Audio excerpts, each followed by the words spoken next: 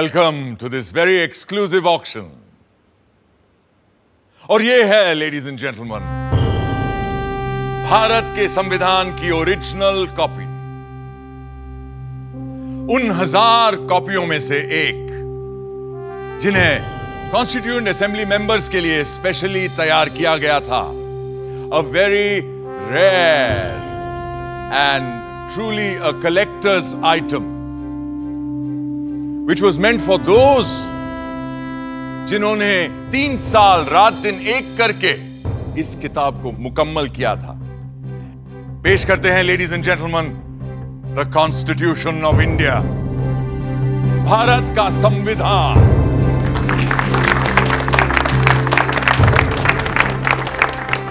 ये कोई आम किताब नहीं, बल्कि प्रतीक है हमारे मुल्क का। पर कभी सोचा है आपने? कि ये मुल्क आखिर होता क्या है? समाजशास्त्री कहते हैं कि एक ही नस्ल, धर्म, जबान, परचम और हुक्म को मानने वाले बाशिंदों के समूह से बनता है एक मुल्क, एक देश। मगर हिंदुस्तान जैसे बहुत सी भाषाओं, धर्मों और तमाम जातियों, प्रजातियों वाले सब कॉन्टिनेंट को किसी तंग नज़रिए से नहीं देखा जा सकता है। और ऐसे मुल्क, ऐसे समाज में पुरानी रीतियों को तोड़कर सबको साथ लेकर आगे चलने के लिए किसी पुराने कानून से भी काम नहीं चल सकता है। इसीलिए हमारे पुरखों ने बनाया था हमारा संविधान, हमारा कॉन्स्टिट्यूशन हमारा आइन ये आइन ही तो वो आईना है जिसमें देख कर ही हम खुद को पहचान पाते हैं और सवार भी सकते हैं। आज से मैं आपको इस जादुई आईने के अंदर के संसार की सैर पर ले जाऊँगी। ये कैसे बना?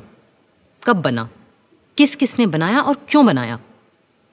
तो चलिए, चलते हैं वहाँ जहाँ कहानी शुरू हुई थी, हमारे संविधान की।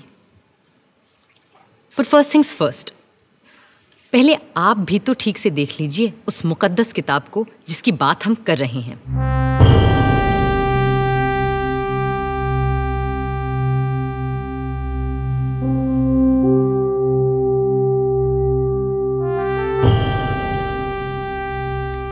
शांति निकेतन के प्रसिद्ध चित्रकार श्री नंदलाल बोस की रहनुमाई में कई कलाकारों ने भारत के इतिहास, पुराण और लोक कथाओं की छवियों से इस ग्रंथ को सजाया था।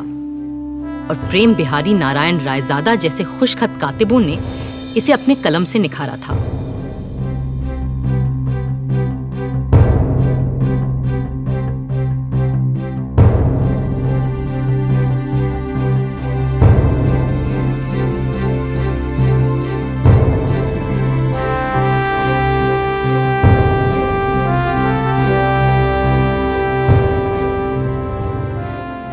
काम मुश्किल होते हुए भी बहुत आसान था।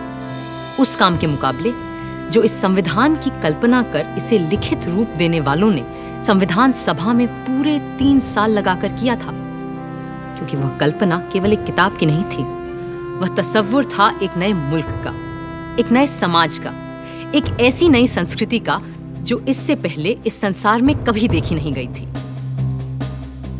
दिसंबर 1946 में जिस इमारत की तामीर शुरू की गई थी, असल में उसकी नींव बहुत पहले रखी जा चुकी थी। अठारह के क्रांति के दौरान, बागी सिपाहियों ने भी हिंदुस्तान का एक अपना संविधान बनाने की कोशिश की थी। उनका विद्रोह तो जल्दी ही दबा दिया गया, मगर आज़ाद देश का एक अपना आइन बनाने का सपना न दबा था, न हारा था। और जैसे जैसे महात्मा गांधी के नेतृत्व में आज़ादी की आवाज़ तेज हुई तो अपना संविधान बनाने की मांग भी और तीव्र होती गई My mentor Gopal Krishna Gokhale presented to the British government a note on the constitution in 1914 and the British said yes yes we will accept it after the war but now they want to make a constitution for us but you know a constitution for India should be and can be framed only by Indians. Now it works. What will you do with this spinning wheel, Mr. Gandhi?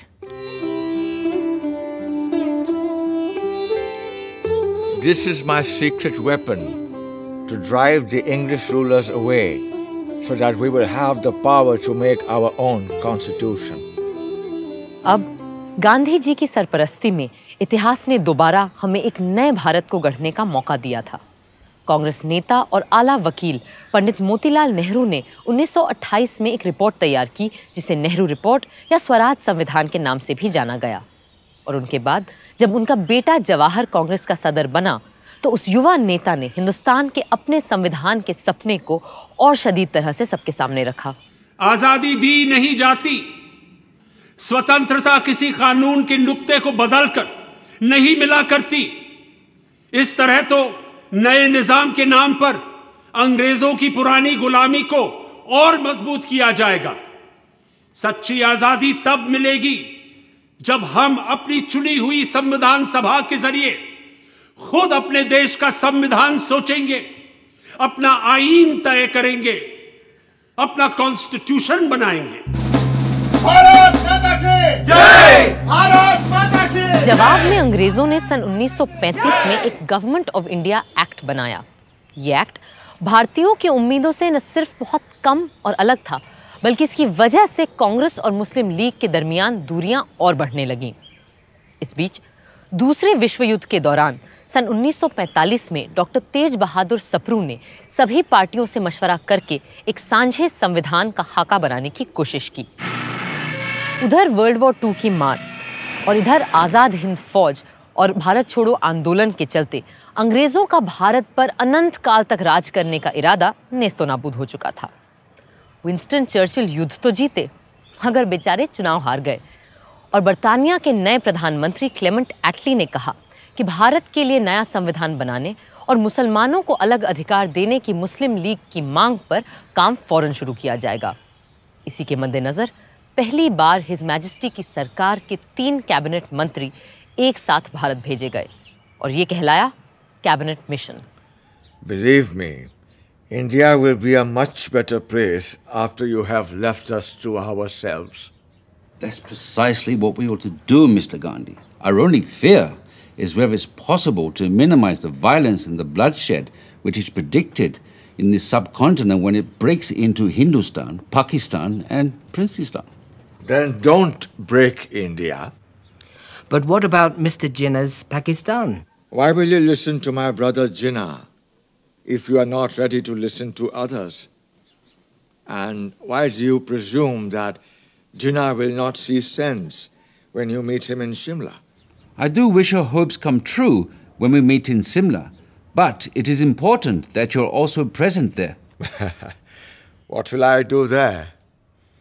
I'm neither a member of the Congress nor of the Muslim League or of the other outfits that you have invited there. But still, we will need your wise counsel in Simla when discussions are held about an interim government and a new constitution for India. लाट साहब यानी vice Roy की शिमला कोठी में बैठक लग रही थी और वहाँ भारत भर की अहम सियासी हस्तियाँ जमा हो रही थीं। कांग्रेस की तरफ़ से आए थे उनके अध्यक्ष मौलाना आज़ाद।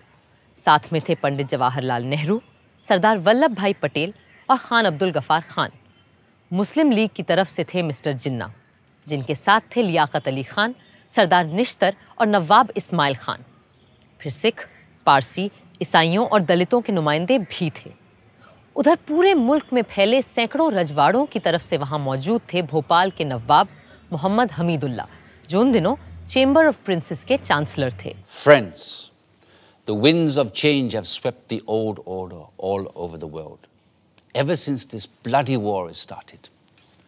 And our new Labour government of Britain is of the opinion that the time has come for Indians to decide how they are going to govern themselves. And the purpose of this meeting is to have discussions with all of you. The representatives of British India and the Indian states is to secure a way of framing the constitution of a free India.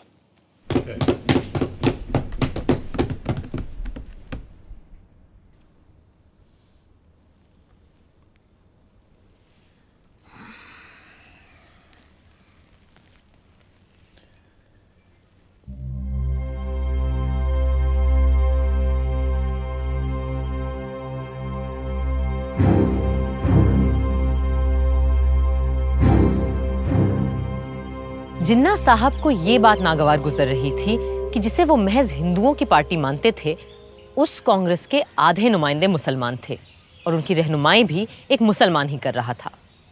Shimla की ठंडी आबो हवा का ऐसे माहौल में गर्म हो जाना लाजमी था। मैं और मेरे साथी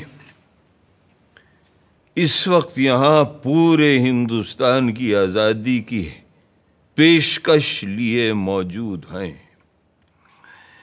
बाकी मसाइल दोयम हैं, जो हम बाद में भी तय कर सकते हैं अपनी कॉन्स्टिट्यूएंट असेंबली में, जो जमा होगी एक आज़ाद हिंदुस्तान के ख्वाब की ताबीर करने के लिए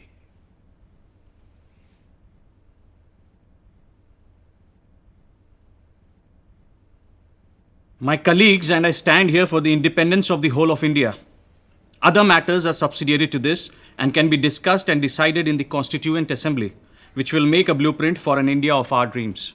Dreams that may turn into nightmares for the Muslims of this country if we allow the Congress to have its way. That's why it's imperative that we Muslims of India have our own group of states that may decide its own constitution. What are the groupings you have in mind, Mr. Jinnah? All the Muslim majority states like Sindh, Punjab, Balochistan, and Northwest Frontier Province will form the first group. And the states of Assam and Bengal will be in the second group. Mr. Jinnah, if, as you suggest, these groups separate from the body of India, then pray tell us, what is left for the Constituent Assembly to make laws for? The rest of India in the center and the south? And what happens to the princely states? Well, they can have their own constituent assemblies. This is not acceptable to us. We are here to discuss the fate of a united India, not to break India into pieces. And if this is the purpose of this mission, I'm afraid we have no business being here. In that case, I'll be forced to adjourn the meeting.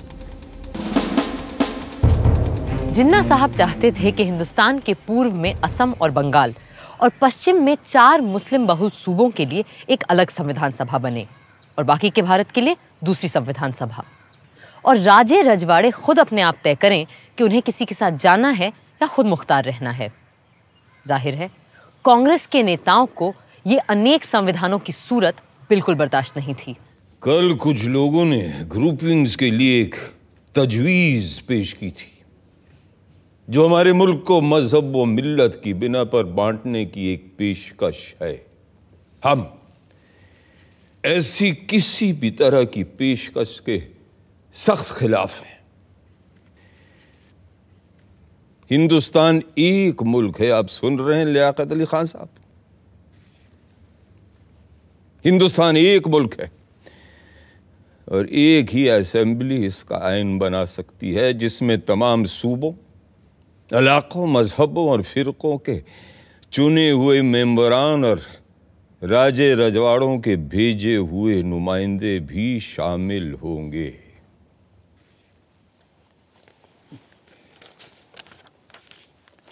References were made yesterday to groups of provinces arranged on communal lines. We are totally against any machinery to run any such groupings.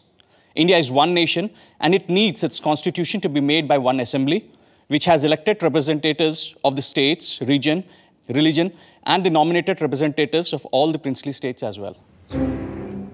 This is what I call the tyranny of numbers. Everyone knows here that such an assembly will have a brute majority of caste Hindus and their party, the Congress. And in the game of numbers, minority Muslims will have no say left. That's why we need two assemblies so that Muslims can frame their own laws. मगर मेरे भाई जिन्ना क्या आज तक हमारे पास हिंदुओं के लिए अलग और मुसलमानों के लिए अलग आइन थे नहीं थे ना तो फिर यकबयक आज इन दो कानूनों की ज़रूरत क्यों आन पड़ी क्यों I trust the British sense of fair play. But with the Hindus ruling India through their Congress, Muslims need a special constitutional protection. I have gone through the length and breadth of India And I know how vulnerable Muslims are feeling today. And as their sole representative here, it is my duty to. ये आपसे किसने कह दिया कि मुसलमानों के अकेले नुमाइंदे आप ही हैं अरे भाई मुसलमान तो हम भी हैं क्यों मौलाना Well, I do not need to establish my credentials here. Because the Muslims of this country know who stands here for their rights and who here is a paid quisling Muslim masquerading as their representative. I take strong objection to such a remark being made about my esteemed colleague. Mr. Jinnah, if I've got you right, you need these groupings because of the communal mistrust that exists in this country. That's perfectly right, Sir Stafford. Muslims cannot be a part of a constituent assembly which will be dominated by caste Hindus. May we deal with first things first, please? Which is to dispose of the problem of the Indo British relationship. For that, we need to make our own constitution for a free India. The communal problem can be dealt with later. Later? Later, there'll be no Muslims left alive in India if Congress is given its way. And that is unacceptable to me. If Mr. Nehru doesn't like the idea of groupings of states within the same India, then it will be better to have two Indias one for Hindus and another for Muslims. Hindustan and Pakistan. And a Princestan, the federation of the princely states. This is ridiculous.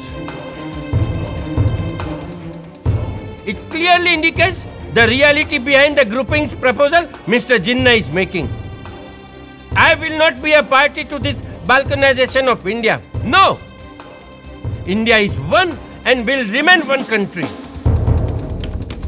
कड़वा सच ये था कि अंग्रेज़ हिंदुस्तान में अपनी घटती हुई फौजी ताकत से अच्छी तरह वाकिफ थे और वो चाहते ही नहीं थे कि सांप्रदायिक आग को फैलने से रोका जाए पर हाँ जाने से पहले सत्ता वो सौंपना चाहते थे एक ढीले से राष्ट्रसंघ के हाथ, जिसकी लगाम हो सके तो उनके ही हाथों में रहे इन्हीं सब बातों को लेकर 16 मई 1946 को एक समझौते का मसौदा बनाया गया United Dominion of India will be given independence as and when the appropriate time comes.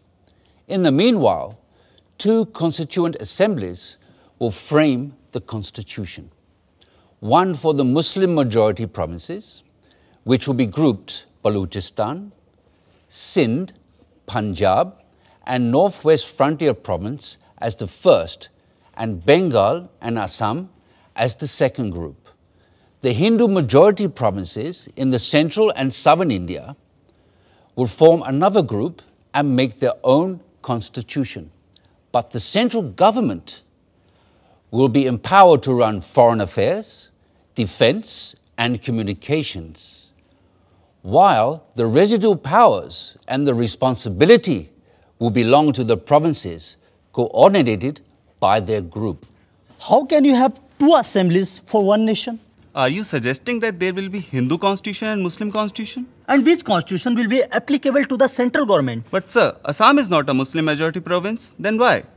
Gentlemen, please, these are only recommendations which have yet to be accepted by the two main parties that is, the Indian National Congress and the Muslim League, whose working committees are going into details of this plan, and there is no need for us to add anything more at this moment. Thank you. But Nehru is adamant he won't agree to such a proposal. I'm ready to sit together with Jawaharlal, for whom I have great regard, to convince him of the value of these groupings, since he has no desire that the British stay back in India any longer.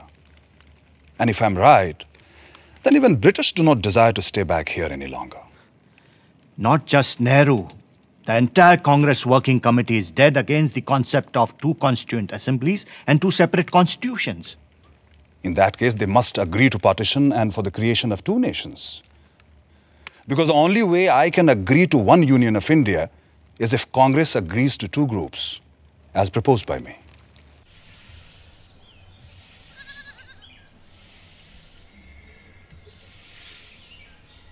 Bapu working committee ने जिन्ना साहब की groupings की तजवीज के खिलाफ एक resolution pass किया है।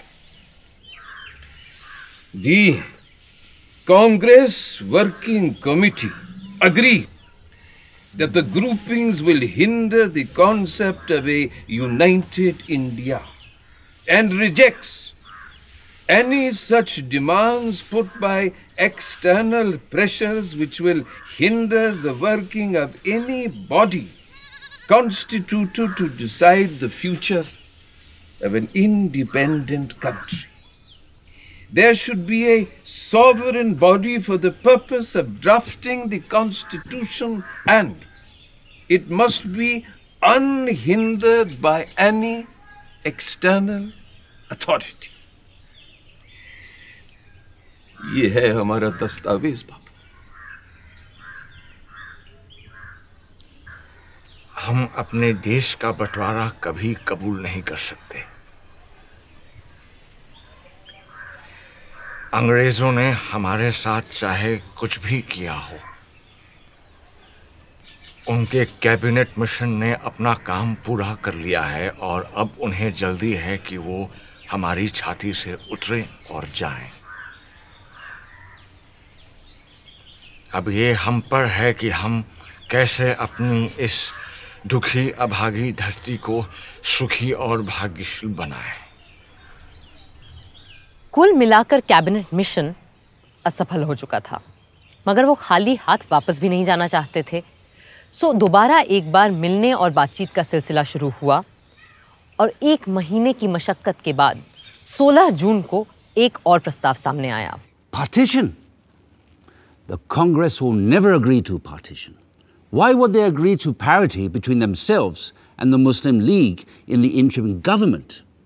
And why would they not agree to have any Muslim members on behalf of Congress? How can one quarter of the population be given half the population's seats in the cabinet? अगर हमने cabinet mission की सरकार में शामिल होने की तजवीज नहीं मानी तो न सिर्फ़ हमें सरकार से बाहर बैठना पड़ेगा बल्कि ये मुमकिन है कि अंग्रेज़ हमें दोबारा जेल में डाल दें। अब इससे बेहतर यह है कि हम उनकी इतनी सी बात मान लें कि हमारी भेजी काबीना की फहरिस्त में किसी मुसलमान का नाम ना हो। खुद अपना नाम कटवाने की तरकीब बता रहे हैं आप तो मौलाना? सरदार मुल्क किसी भी शख्स से बहुत बड़ा होता है और किसी भी मिल्लत से भी। मैं मौलाना की बात समझ सकता हूँ। अगर हमने सरकार में आने का ये मौका हाथ से जाने दिया तो यकीनन मुस्लिम लीग और खास तौर से जिन्ना साहब इस बात का नाजायज फ़ायदा उठाएँगे। बापू, आपका क्या कहना है?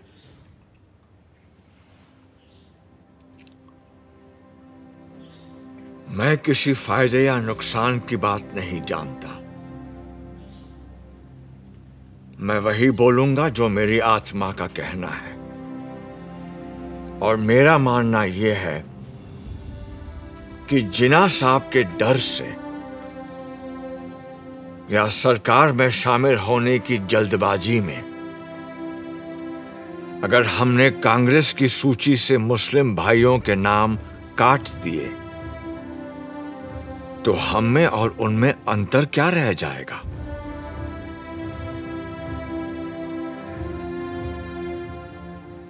जिना साहब सिर्फ़ मुसलमानों के नेता हो सकते हैं,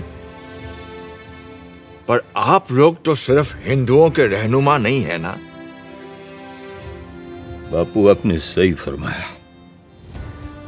मगर क्रिप्स और उनके साथी अभी रुकने वाले नहीं है।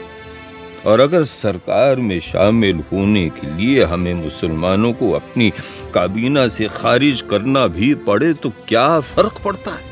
मुझे फ़र्क पड़ता है। और मेरा ऐसी पार्टी से कुछ लेना देना नहीं हो सकता है। अगर आप लोग सरकार संभालने के लिए इतने उतावले हैं तो बनाइए आप सरकार।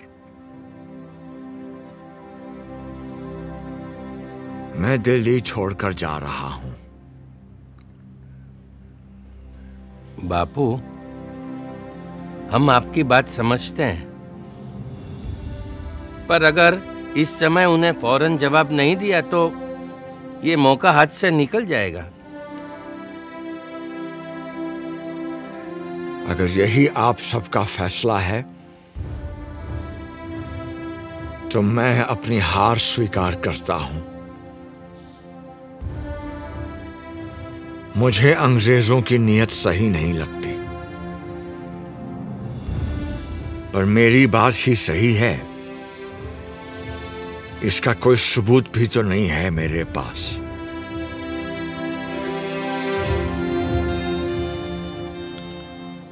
अगर आप सबकी आज्ञा हो तो मैं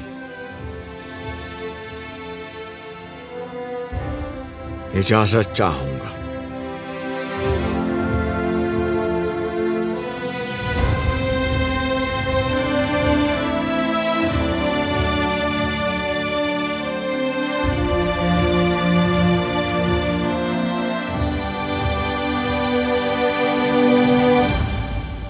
अब हम बापू को जाने दे?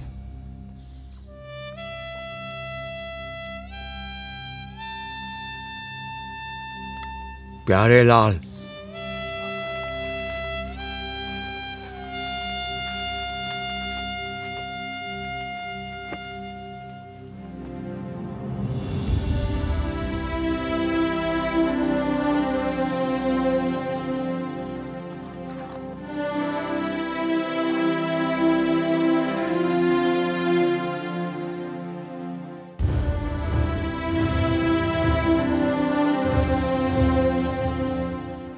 यूँ नया संविधान बनाना तय हो गया। और ये भी कि जिन्ना साहब की तजवीज़ के खिलाफ सिर्फ़ एक संविधान सभा मुल्क का रूप स्वरूप तय करेगी। ज़ाहिर है कोई इस व्यवस्था से पूरी तरह खुश नहीं था मगर जिन्ना साहब पर तो जैसे गाज गिर गई थी। और वो अपने मुखालफों को आसानी से बख्शते नहीं थे। We have been betrayed by Viceroy Webel. वेबल ने हमारे साथ दगाबाजी की है। Cripps has debased his talents, and Pethick Lawrence has prove to be a treacherous man Cripps ने अपने हुनर का गलत इस्तेमाल किया है। पैथिक लॉरेंस ने हमारी पीठ में छुरा भोंका है। Breaking all the norms of decency they have invited the Congress which had earlier refused the offer to join the interim government without even consulting us भलमनसियत के सारे पैमाने तोड़कर कांग्रेस को सरकार में शामिल कर लिया गया जबकि कांग्रेस ने पहले साफ़ साफ़ इनकार कर दिया था। और ऊपर से तुर रहा यह कि यह सब बिना हमसे पूछे बिना हमारी इजाज़त लिए बगैर किया गया है। In such situation if I have to safeguard the interest of the Muslim of this subcontinent then I am left with no choice but to bid goodbye to constitutional methods इस सूरत में अगर मुझे मुसलमानों की इज़्ज़त गैरत और हुकूक को बचाना है तो मेरे पास कोई और सूरत ही नहीं रहती सिवाय इसके कि हम कॉन्स्टिट्यूशनल यानी आईनी तरीकों को ताक पे रख दें। The Hindu Congress has time and again employed the weapon of mass struggle to intimidate us. And the British have held their arms and authority to crush us. हिंदुओं की कांग्रेस हमेशा अवामी जद्दोजहद के नाम पर हिंदुओं के हुजूम से हमें डराती आई है और अंग्रेज़ हुक्मरान अपनी बंदूकों बेतों और बेनटों से हमें कुचलते आए हैं Today, we too have forged a weapon and are in a position to use it. अब हमने भी अपना हथियार तैयार कर लिया है और हम इसका इस्तेमाल भी जानते हैं। I call upon all the Muslim of this country to take to direct action आज मैं हिंदुस्तान के सारे मुसलमानों से डायरेक्ट एक्शन की अपील करता हूँ। From Friday sixteen of August We will resort to direct action till we have achieved our cherished goal, our Pakistan. Hey, Allah ke nek bando, aane wale jume 16 August se हम सीधी are पार की लड़ाई लड़ेंगे। Direct action और हथियार तभी रखेंगे जब मंजिल मखसूस सामने दिखाई देगी। यानी हमारा प्यारा पाकिस्तान! पाकिस्तान! पाकिस्तान! पाकिस्तान! मगर कायदे आज़म क्या हमारा डायरेक्ट एक्शन नॉन वायलेंट होगा? I am not going to discuss ethics here. और आप सभी लोग जानते हैं कि मुझे गांधी की अहिंसा वहिंसा में कोई यकीन नहीं है। कायदे आज़म मोहम्मद अली जिन्ना बातचीत सुलह सफ़ाई रूठने समझाने मनाने के दो महीने यकबयक खत्म हो गए। कैबिनेट मिशन वापस लौट गया और हिंसा के बादल चारों तरफ़ मंडराने लगे। वायसरॉय वेवल ने सारे गवर्नरों को बुलाकर पुलिस व्यवस्था को चाक चौबंद करने को कहा। पर बंगाल के गवर्नर सर फ्रेडरिक बरोज ने वेवल को खबर दी कि बंगाल के मुस्लिम लीगी प्रधानमंत्री एच एस सोहरावर्दी के कहने पर उन्होंने 16 अगस्त को सारे पुलिस महकमे को छुट्टी पे भेज दिया है। 16 अगस्त 1946 भारत के इतिहास के काले दिनों में शामिल होने जा रहा था। जिन्ना साहब की पुकार पर 16 अगस्त की सुबह से ही हथियारबंद लोग कलकत्ता की सड़कों पर उतर आए और हत्याओं का सिलसिला शुरू हो गया। बदले में दूसरे संप्रदायों के लोग भी निकल आए और सड़कों पर तीन दिन तक सिर्फ़ हथियारों का राज था। पुलिस छुट्टी मनाती रही। फौज अपने ड्रैगन टैंक लिए बैरकों में बैठी रही और सड़कों पर कत्लोगारत, खुरेजी और आगजनी होती रही। तीन दिन में चार हज़ार से ज़्यादा लोग मारे जा चुके थे। बंगाल में जो हुआ, उसके बदले में पहले बिहार और फिर बाकी भारत में भी हिंसा का तांडव मचने लगा।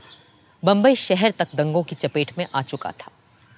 पर पूर्वी बंगाल के नोआखली में जिस तरह हिंसा का चक्र शुरू हुआ, उसने सबको दंग कर दिया।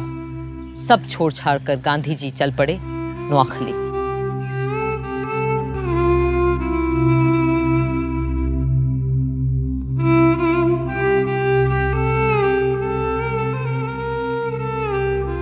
लाट साहब वेवल का मानना था कि हिंदुस्तानियों के साथ मिलकर बनी सरकार ही इस गृह युद्ध जैसी स्थिति को रोक सकती है। सो पंडित नेहरू ने अंतरिम सरकार में वाइस प्रेसिडेंट और सरदार पटेल ने गृह मंत्री का पद स्वीकार कर लिया। जिन्ना साहब ने तो पहले इस सब का मज़ाक उड़ाया। फिर 15 अक्टूबर तक उनकी तरफ़ से भी लियाकत अली खान ने वित्त मंत्री का पद संभाल लिया। जिन्ना साहब खुद सरकार में शामिल नहीं हुए, क्योंकि उन्हें नेहरू से छोटा या बराबरी का अहदा मंजूर नहीं था। यूँ आर्जी सरकार तो बन गई, पर उसका चलना कदम कदम पर दुश्वार हो रहा था। गांधी जी ने तो बहुत पहले ही लाट साहब वेवल को इस खतरे से आगाह किया था। You must make your choice of one horse or the other you will never succeed in riding two at a time choose the names for the interim government from names submitted by the Congress और the league for God's sake do not make an incompatible mixture and in trying to do so, produce a fearful explosion. Even a government headed by the League is not going to damage India. But I'm not ready to accept the division of Congress as Hindu and League as Muslim. No.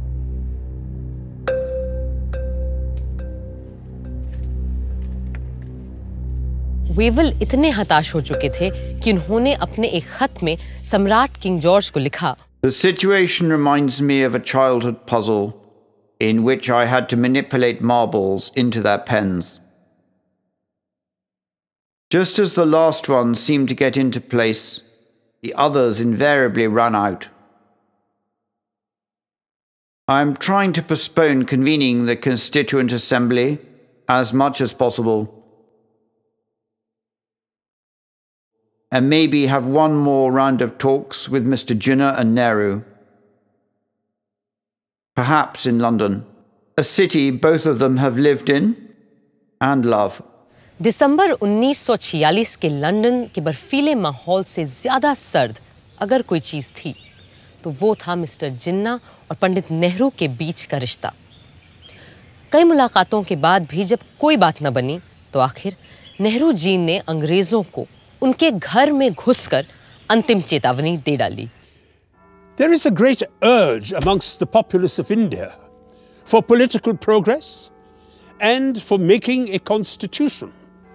Mr. Jinnah's Muslim League is but a fly on the weighing scale compared to the vast force in India. And if the British authorities do not call for the Indian Constituent Assembly immediately, we will have to resort to another mass action against His Majesty's government. Thank you, gentlemen. Mass action के डर से British सम्राट की सरकार तुरंत मान गई और पंडित नेहरू के भारत लौटते ही तीन दिन के अंदर हिंदुस्तान का आईन बनाने के लिए कॉन्स्टिट्यूएंट असेंबली का मिलना तय हो गया 9 दिसंबर 1946 के ऐतिहासिक दिन इसी इमारत में पहली बार इकट्ठा हुई भारत की संविधान सभा प्रादेशिक विधानसभाओं से चुने गए नुमाइंदे इस ऐतिहासिक दिन के लिए सज धज कर पधार रहे थे। मुस्लिम लीग ने, जैसा कि उम्मीद थी, इसका पूरी तरह से बहिष्कार किया। हिंदुस्तान को एक नया रूप देने के लिए, एक नए संविधान को आकार देने के लिए सारे महत्वपूर्ण लोग कॉन्स्टिट्यूंट असेंबली में मौजूद थे। बस दो लोग वहाँ नहीं थे, और शायद दो सबसे अहम लोग, कायदे आज़म मोहम्मद अली जिन्ना और महात्मा गांधी। संविधान सभा के बहुत से सदस्य गांधी जी से मार्गदर्शन और आशीर्वाद लेने उनके पास पहुँचे।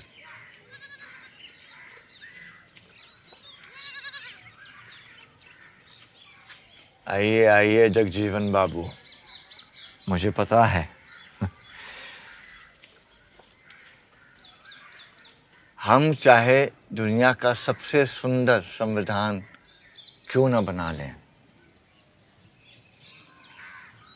पर वो भी बेकार साबित होगा अगर उसे अमल में लाने वाले लोग ना हुए। बापू मुझे पूरा विश्वास है कि हमारे यहाँ ऐसे अच्छे आदमियों और औरतों की कोई कमी नहीं है जो हमारे संविधान को कारगर करके दिखाएँगे। इसीलिए हम सब आपका आशीर्वाद लेने आए बापू के आशीर्वाद हमेशा तुम्हारे साथ हैं। पर आज मैं तुम्हें एक तावीज़ एक टोटका दूँगा जो शायद तुम्हें सही संविधान बनाने में मदद करे। आप और तावीज? बापू मुझे लगता था आप तंत्र मंत्र यंत्र में विश्वास नहीं रखते। हाँ। पर इस मंत्र पे पक्का विश्वास है मेरा। जब कभी अपने आप को शंका में घिरा पाओ तो इस परीक्षा को अपनाना। सबसे दीनहीन, गरीब, कमज़ोर इंसान, जिसे तुमने देखा हो, उसका चेहरा याद करना और स्वयं से पूछना, जो मैं करने जा रहा हूँ, क्या इससे उसका भला होगा? इस कदम से क्या उसे कुछ मिलेगा या नहीं? इससे क्या वो अपने भाग्य और जीवन को सुधार पाएगा या नहीं? या यूँ कहो, ऐसे करोड़ों को स्वराज मिलेगा या नहीं? जो तन और मन की भूख से तड़प रहे हैं, जिनके पेट भी खाली है और हृदय भी। फिर देखना, तुम्हारी सारी शंकाएँ छूमंतर हो जाएँगी।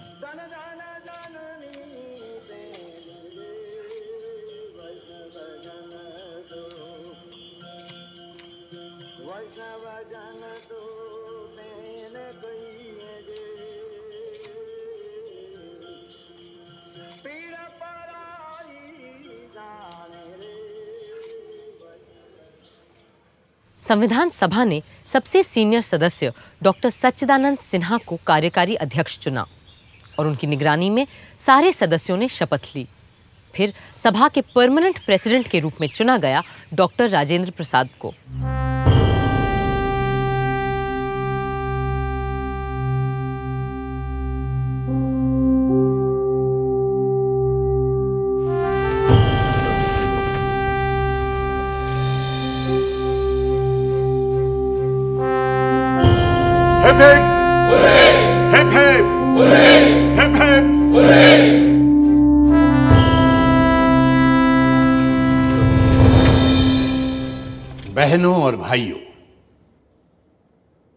अगर आप मुझे माफ़ करें तो मैं ये कहूँगा कि इस देश में जहाँ जात पात के इतने झगड़े फैले रहते हैं, आप लोगों ने हमें चुनकर एक तरह से अपनी जाति से बाहर कर दिया है। और अपनी जात पात में बैठने से वंचित करके आपने हमें एक अलग, एक दूसरी जगह, एक दूसरे किस्म की कुर्सी पर बैठने के लिए मजबूर कर दिया है। और सिर्फ़ इतना ही नहीं, बल्कि शायद आप में से हर एक आदमी यह भी उम्मीद रखता है कि इस सभा के कार्यों में मैं कोई ऐसा कार्य न कर बैठूं जिससे कि यह बात ज़ाहिर हो कि मैं किसी खास दल या किसी खास फिरके का आदमी हूँ। पहले हिंदी और फिर अंग्रेज़ी में बोलते हुए राजेंद्र बाबू ने सबके दिलों को छू लिया। अब अब all what we need is freedom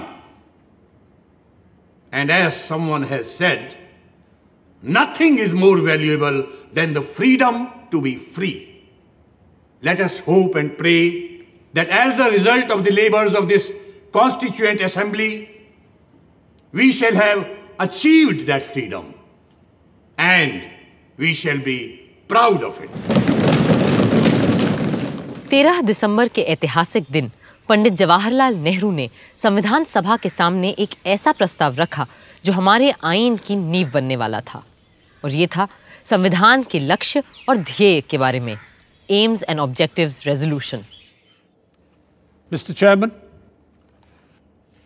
the resolution that I am placing before you defines our aims and describes an outline of the plans and points to the way which we are going to tread. The resolution that I place before you is in the nature of a pledge. And I hope the House will pass this resolution, which is of a special nature. I beg to move one, this Constituent Assembly declares its firm and solemn resolve to proclaim India as an independent, sovereign republic. Bharat की अक्षुणता अखंडता और स्वायत्तता से लेकर नए भारत में सबकी समानता और एकता तक की बात अपने प्रस्ताव में रखी थी पंडित नेहरू ने Two, wherein shall be guaranteed and secured to all the people of India justice, social, economic, and political, equality of status, opportunity, and before the law, freedom of thought, expression, belief, faith, worship, vocation, association, and action. एक एक करके आठ नुक्ते सामने रखे थे उन्होंने और हमारे संविधान का पूरा नक्शा कुछ ही शब्दों में खींच दिया था। मगर उन्हें भी आज संविधान सभा में कुछ लोगों की कमी बहुत खल रही थी। आज इस असेंबली में हमें बहुत से लोगों की कमी खल रही है। हमें अच्छा लगता, अगर और भी सभी इलाकों, सूबों और राज्यों के नुमाइंदे हमारे बीच होते, एक और शख्स आज यहाँ मौजूद नहीं है।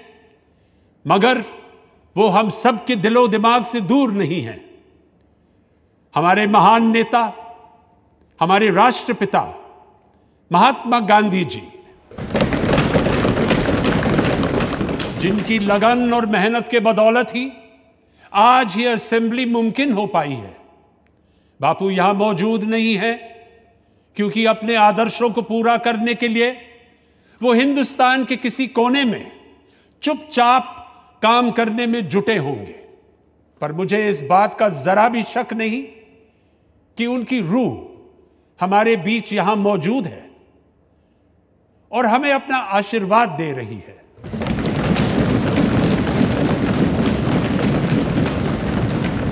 I also think of the various constituent assemblies that have gone before us when the fathers of the great American nation met and fashioned out a constitution that has stood the test of time for more than a century and a half.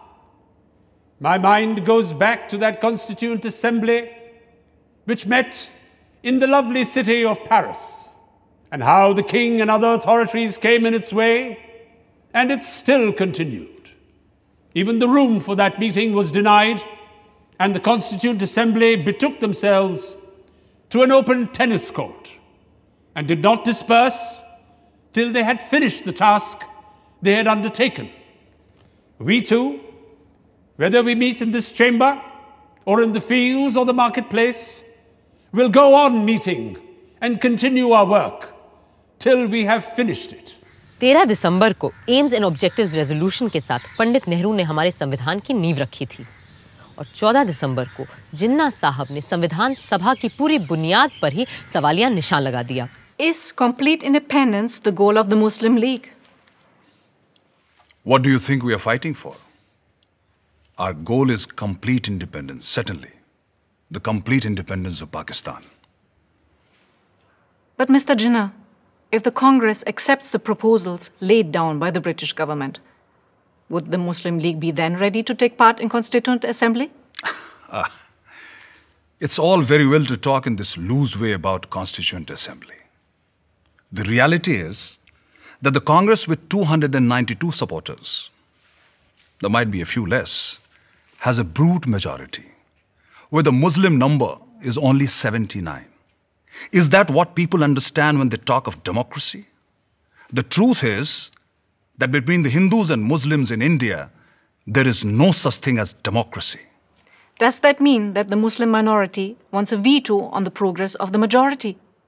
What majority do you mean? If you mean the Hindus, then we wish them Godspeed. Go ahead and establish your Hindustan.